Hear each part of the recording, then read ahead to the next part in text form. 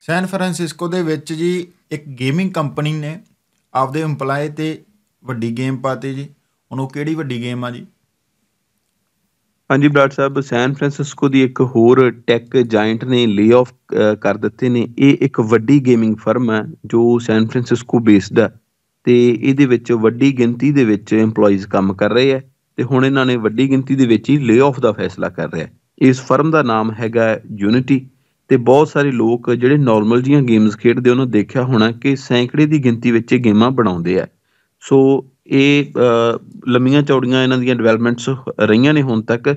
ਇਹਨਾਂ ਨੇ ਹੁਣ ਫੈਸਲਾ ਕੀਤਾ ਕਿ ਘੱਟੋ ਘੱਟ 25% EMPLOYEES ਨੂੰ ਅਸੀਂ ਫਾਰਗ ਕਰ ਦੇਣਾ ਇਹਨਾਂ ਦੇ ਕੋਲੇ ਇਸ ਵੇਲੇ 7000 ਤੋਂ ਜ਼ਿਆਦਾ ਲੋਕ ਜਿਹੜੇ ਨੇ, ਉਹ ਕੰਮ ਕਰ ਰਹੇ ਸੀਗੇ, ਜਿਨ੍ਹਾਂ ਦੇ ਵਿੱਚੋਂ ਇਹਨਾਂ ਨੇ 1800 EMPLOYEES ਨੂੰ ਜੌਬ ਤੋਂ ਕੱਢਣ ਦਾ ਡਿਸੀਜਨ ਲਿਆ ਹੈ।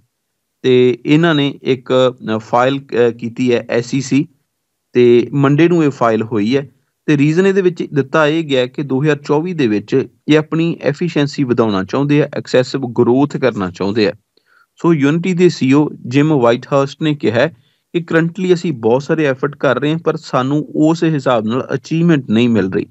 ਸੋ ਅਸੀਂ ਫੁੱਲ ਪੋਟੈਂਸ਼ੀਅਲ ਐਗਜ਼ੀਕਿਊਟ ਕਰਨ ਦੇ ਵਿੱਚ ਕਾਮਯਾਬ ਨਹੀਂ ਹੋ ਰਹੇ। ਇਸੇ ਕਰਕੇ ਅਸੀਂ ਚਾਹੁੰਦੇ ਹਾਂ ਕਿ ਲੇ ਆਫ ਕਰਕੇ ਦੁਬਾਰਾ ਅਸੀਂ ਟਰਾਈ ਕਰੀਏ। ਸੋ ਯੂਨਿਟੀ ਤਕਰੀਬਨ 20 ਸਾਲ ਪੁਰਾਣੀ ਫਰਮ ਹੈ ਤੇ ਇਹ ਡੈਨਿਸ਼ ਬੰਦਿਆਂ ਨੇ ਆ ਕੇ ਡਿਵੈਲਪ ਕੀਤੀ ਸੀ ਤੇ ਇਹਦਾ ਜਿਹੜਾ ਗੇਮ ਇੰਜਨ ਆ, ਉਹ ਡਿਵੈਲਪਰਸ ਦੇ ਵਿੱਚ ਖਾਸਾ ਪਪੂਲਰ ਆ। ਸੋ ਲੇ ਦਾ ਸਿਲਸਿਲਾ ਸੈਨ ਫਰਾਂਸਿਸਕੋ ਦੇ ਵਿੱਚ ਕੈਲੀਫੋਰਨੀਆ ਦੇ ਵਿੱਚ ਲਗਾਤਾਰ ਜਾਰੀ ਹੈ। ਜੀ, ਆਪਾਂ ਕਿਤੇ ਨਾ ਕਿਤੇ ਗੱਲ ਇਹ ਵੀ ਕਰਦੇ ਆ ਵੀ ਸਭ ਤੋਂ ਪਹਿਲਾਂ ਲੇ ਆਫ ਉਹਨਾਂ ਨੂੰ ਹੀ ਮਾਰ ਰਹੇ ਆ ਜਿਹੜੇ ਦੂਜਿਆਂ ਨੂੰ ਲੇ ਆਫ ਕਰਾਉਣ ਦੀ ਕੋਸ਼ਿਸ਼ ਕਰਦੇ ਆ। ਜਿਵੇਂ ਟੈਕਨੋਲੋਜੀ ਹੋ ਗਈ ਟੈਕਨੋਲੋਜੀ ਨਵੀਂ ਆਉਂਦੀ ਹੈ ਤਾਂ ਕਿਤੇ ਆਪਾਂ ਕੱਲ ਖਬਰ ਕੀਤੀ ਸੀਗੀ ਵੀ ਉੱਥੇ ਜਿਹੜੇ ਰੈਸਟੋਰੈਂਟ ਆ ਰੈਸਟੋਰੈਂਟਾਂ ਦੇ ਉੱਪਰ ਮਸ਼ੀਨਾਂ ਲਿਆ ਦੇਣਗੇ, ਉਹਦੇ ਨਾਲ ਬੰਦਿਆਂ ਦੇ ਉੱਪਰ ਕੰਮ ਤਾਂ ਤੇ ਕੰਮ ਤੇ ਫ਼ਰਕ ਪੈ ਸਕਦਾ। ਸੋ ਸਭ ਤੋਂ ਪਹਿਲਾਂ ਤਾਂ ਮੈਨੂੰ ਲੱਗਦਾ ਜਿਹੜੀ ਟੈਕਨੋਲੋਜੀ ਹੈਗੀ ਟੈਕਨੋਲੋਜੀ ਜਿਹੜੇ ਬਣਾ ਰਹੇ ਆ ਬੰਦੇ, ਉਹਨਾਂ ਨੂੰ ਹੀ ਲੇ ਆਫ ਕਰ ਰਹੀ ਹੈ। ਬਿਲਕੁਲ ਬਰਾੜ ਸਾਹਿਬ ਟੈਕਨੋਲੋਜੀ ਦੇ ਵਿੱਚ ਜਿਹੜੀਆਂ ਇਨੋਵੇਸ਼ਨਸ ਹੋ ਰਹੀਆਂ ਉਹ ਟੈਕਨੋਲੋਜੀ ਸੈਕਟਰ ਦੇ ਬੰਦਿਆਂ ਨੂੰ ਹੀ ਖਾਣ ਲੱਗਦੀਆਂ ਜੇ ਆਪਾਂ ਥੋੜਾ ਜਿਹਾ ਸਿੰਪਲੀਫਾਈ ਕਰਕੇ ਕਹੀਏ ਕਿ ਜਿਹੜੀ ਨਵੀਂ ਇਹ ਚੀਜ਼ ਡਿਵੈਲਪ ਕਰ ਲੈਂਦੇ ਆ ਬਾਅਦ ਚ ਡਿਵੈਲਪਰਸ ਨੂੰ ਹੀ ਉਹ ਪੈ ਜਾਂਦੀ ਹੈ। ਸੋ ਆਪਾਂ ਇਹ ਚੀਜ਼ ਦੇਖ ਲਈ ਆ ਕਿ AI ਜਿਨ੍ਹਾਂ ਨੇ ਡਿਵੈਲਪ ਕੀਤੀ ਵੱਡਾ ਨੁਕਸਾਨ ਉਹਨਾਂ ਨੂੰ ਹੀ ਚੱਲਣਾ ਪੈ ਸਕਦਾ ਹੈ ਪੈ ਰਿਹਾ ਹੈ। ਆਪਾਂ ਦੇਖ ਰਹੇ ਹਾਂ ਆਏ ਦਿਨ ਆਪਾਂ ਲੇ-ਆਫ ਦੀਆਂ ਖਬਰਾਂ ਸਾਂਝੀਆਂ ਕਰਦੇ ਹਾਂ ਤੇ ਇਹਨਾਂ ਦੇ ਵਿੱਚੋਂ ਮੈਨੂੰ ਲੱਗਦਾ ਕਿ ਆਪਣੀਆਂ 50% ਤੋਂ ਵੱਧ ਖਬਰਾਂ ਜਿਹੜੀਆਂ ਉਹ ਟੈਕ ਜਾਇੰਟਸ ਦੇ ਨਾਲ ਟੈਕ ਕੰਪਨੀਆਂ ਦੇ ਨਾਲ ਰਿਲੇਟਡ ਹੁੰਦੀਆਂ।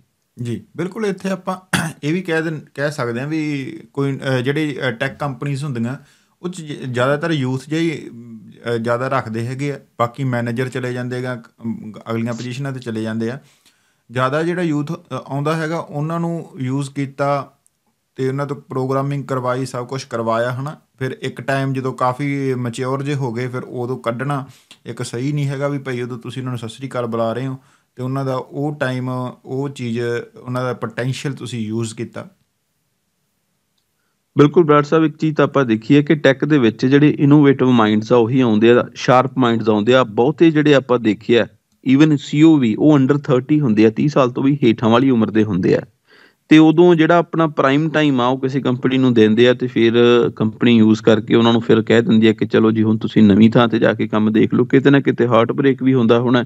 ਹੋ ਸਕਦਾ ਕਈਆਂ ਨੂੰ ਬਹੁਤ ਵਧੀਆ ਚਾਂਸ ਅੱਗੇ ਜਾ ਕੇ ਵੀ ਮਿਲ ਜਾਂਦਾ ਹੋਵੇ, ਕਿਉਂਕਿ ਜੇ ਯੂਨਿਟੀ ਵਰਗੀ ਫਰਮ ਦੇ ਵਿੱਚ ਕਿਸੇ ਨੇ ਕੰਮ ਕੀਤਾ, ਤਾਂ ਡੈਫੀਨੇਟਲੀ ਹੋ ਸਕਦਾ ਕੋਈ ਹੋਰ ਗੇਮਿੰਗ ਕੰਪਨੀ ਆ ਜਿਹੜੀ ਉਹਨਾਂ ਨੂੰ ਵੈਲਕਮ ਕਰੇ।